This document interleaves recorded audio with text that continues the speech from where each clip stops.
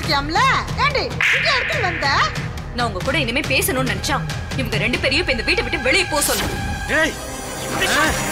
அக்காவும் அத்தாச்சியும் வீட்ல போய் சண்டை போட்டிருப்பாங்க போல. கண்ணனும் ஐஸ்வர்யாவும் வீட்ல இருந்து கிளம்பிட்டாங்க. இங்க வந்திருக்க? நம்ம கண்ண விஷயமா தான் அவன் தங்கறதுக்கு மட்டும் ஒரு இடம் கொடுங்கப்பா. நம்ம இடத்துல இருக்கான்னு கூட வெளியில யாருக்கும் தெரிய வேண்டாம்ப்பா. Pandian stores powered by